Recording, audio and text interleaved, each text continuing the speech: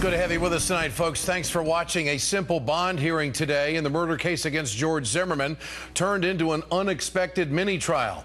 Zimmerman was granted bail and he will be released within a few days. The biggest surprise came when George Zimmerman took the stand after his lawyer said he wanted to make a statement to the court. I wanted to say I am sorry uh, for the loss of your son. I did not know how old he was. I thought he was a little bit younger than I am and I did not know if he was armed or not.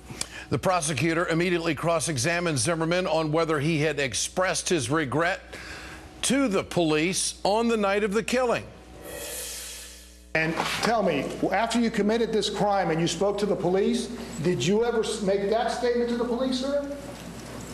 that you were sorry for what you'd done or, or they're lost? No, sir. You never stated that, did you? I don't remember what I said. I believe I did say that. You told that to the police? In one of the statements, I said that I felt sorry for the family. You did? Yes, sir. The prosecutor also wanted to know why Zimmerman waited until the day of his bond hearing to apologize to the Martin family. Why did you wait so long to tell Mr. Martin and the victim's mother, the father and mother, why did you wait so long to tell them? I was told not to communicate with them. In his apology today, Zimmerman said he thought Trayvon Martin was a little bit younger than him. But what about the 911 call when George Zimmerman said Trayvon Martin was in his late teens? How old would you say he was? Got a button on his shirt. Late teens. Late teens, okay. Today, George Zimmerman's lawyer, Mark O'Mara, questioned the prosecution's investigator extensively about the probable cause affidavit against his client Zimmerman.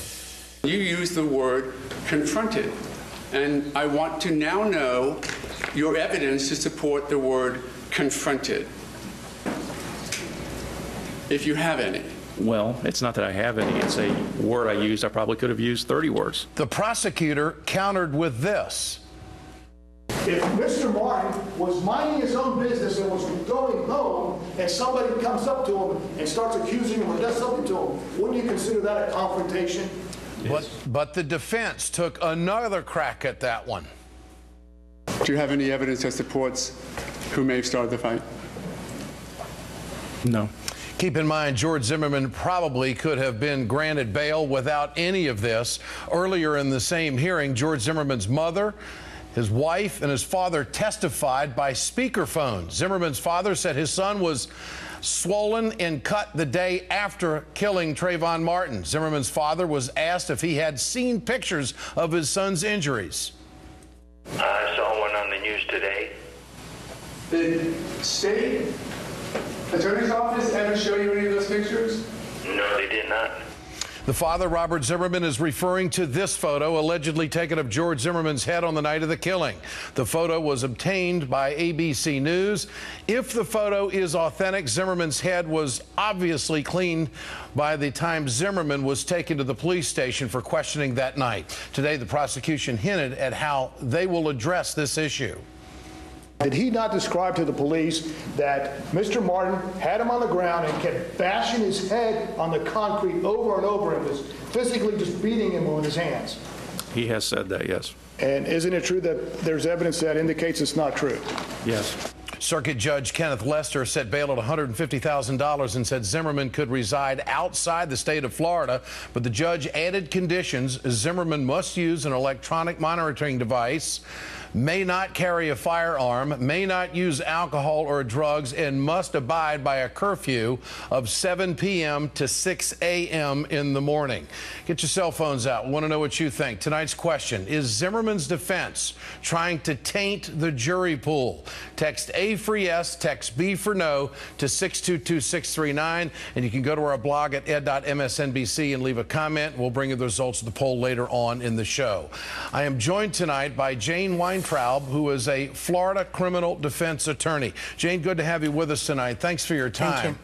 Thank you. Uh, you know, when I turned on the coverage this morning, watching here on MSNBC, I, I, the first thing that hit me was, what is this? I mean, this is the most detailed bail hearing I think I've ever seen, and, and it just got so, uh, well, detailed. I was really surprised. Your thoughts?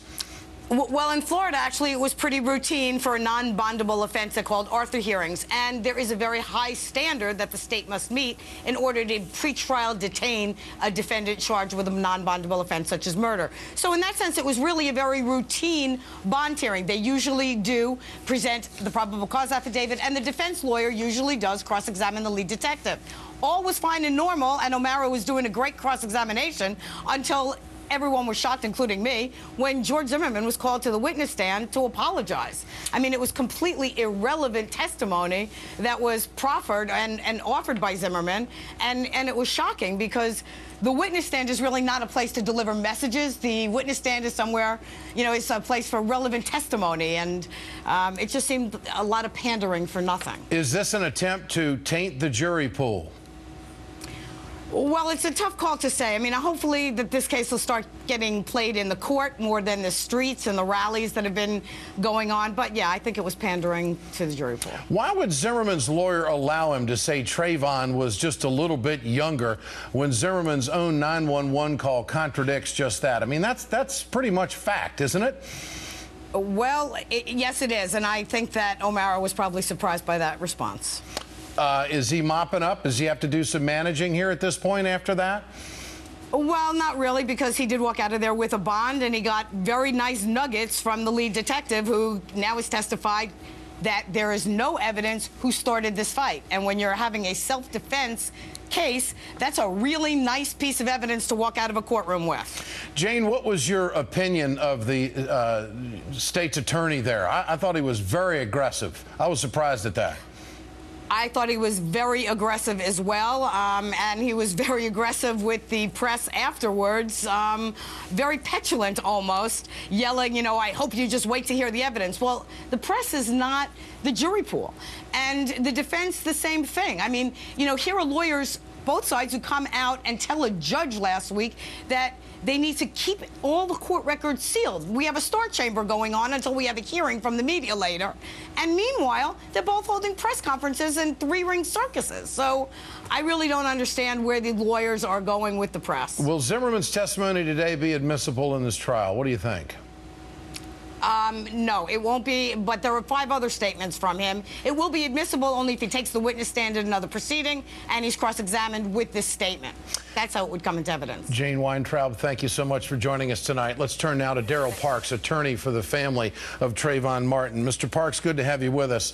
Good evening. Uh, you bet. Uh, some time ago on this program, you, you told me that the family would accept an apology because they are a, a Christian family. Uh, and yet the apology was offered in court today, and it's my understanding that the family did not accept it. Take us down that road. What happened?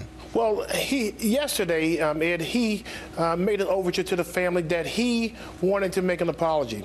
We responded that in order to do that, we thought that there was a time and place to do that, and we would probably do that at some point in the future. However, we knew that we did not want to go into this proceeding and do such a thing. And so when he took the stand and did not offer a scintilla of evidence, instead he directed his attention to um, Mr. Um, Mr. Tracy um, Martin and, to Miss Sabrina Fulton, which is totally inappropriate. And so um, there's a time and place for that. We just thought that that was not the right place, and my clients are very upset about it. Did the family know that George Zimmerman was going to take the stand today? No, they did not. We had no way of knowing that. And what was the response when that when this was taking place? Well, they were very surprised because we thought it was very clear that, that there is a time and place for that, but this wasn't the time and place. And why do you think he took the stand? What, what do you think this defense attorney is doing? Well, it was. I think it was completely self-serving.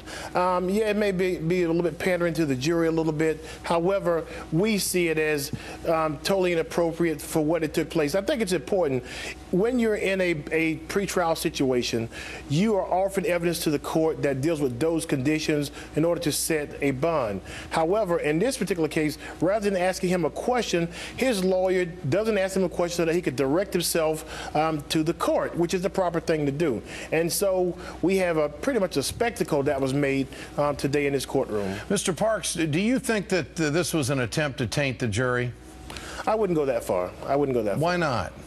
Well, I mean, you know, I, I think that he had his own reason for doing it. Hopefully, he's not doing it. Hopefully, we as lawyers are not supposed to do that. And I don't think that he was trying to do that on this occasion. But how unusual was it for him to take the stand in a bail hearing, especially with all the circumstances and all the media attention?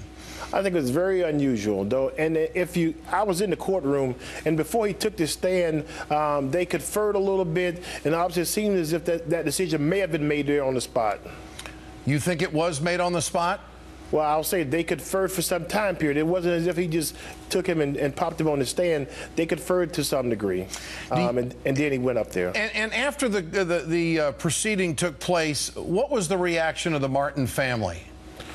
Well, it was rather clear um, at the beginning of the court's pronouncement concerning some of the past actions of, of um, Mr. Zimmerman. Um, the family, um, as the court made its pronouncement, uh, was, was, devastated and it found it very difficult to sit in the courtroom um, as the court began to announce its decision. Do you think George Zimmerman hurt his case or helped his case today by taking the stand?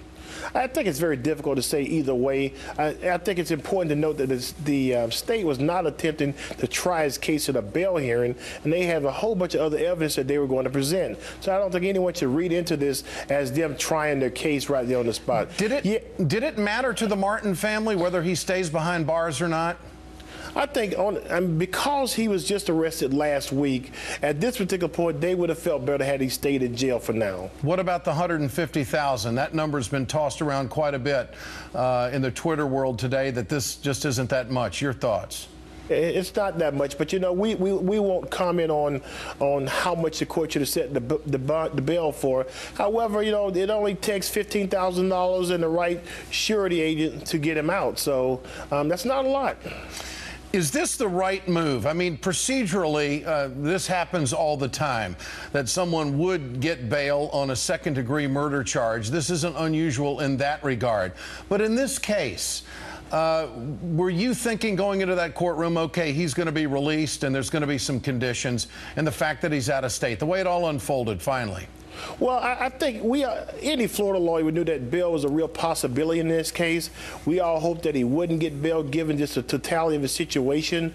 However, I, I think that the, the, family just had a little bit of a, of an issue with um, how it went down in terms of the pronouncement. Um, but, you know, we still have confidence in this court system that justice will prevail in the okay. end. And the final question I want to ask you tonight, Mr. Parks, what is your reaction to the photos that were released by ABC News? News that clearly shows uh, that there was blood. In fact, a lot of blood on George Zimmerman's head. Ed, let me say this. It, it, uh, we know there was a fight. We know there was, it was a tough fight, right? Him getting hit on the head was part of it. Remember, this kid was unarmed. If this kid had to fight for his life from a guy who had a 9 millimeter and beat him in the head, he had to do what he had to do. This guy still had a 9 millimeter, a deadly weapon, and in the end, he shot Trayvon Martin. Daryl Parks, thank you for joining us tonight. I appreciate your time. Thank, thank you. Thank you. Remember to answer tonight's question there at the bottom of the screen. Share your thoughts on Twitter at Ed Show. We want to know what you think. Coming up, Mitt Romney is losing to President Obama on just about every issue. Uh, his only hope is for the economy to go south before November. And later, Paul Ryan continues to defend the Republican war on the poor. Michael Eric Dyson joins me to hit back at Ryan's attacks on low income Americans.